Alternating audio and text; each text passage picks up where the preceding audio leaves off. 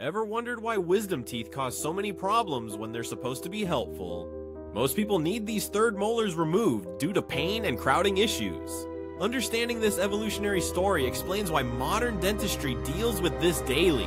Our ancient ancestors had larger jaws from chewing tough raw foods constantly. They needed these extra molars to grind fibrous plants and raw meat. Human evolution shows jaw size decreased as cooking made food softer. With softer diets, jaws got smaller through generations of reduced exercise.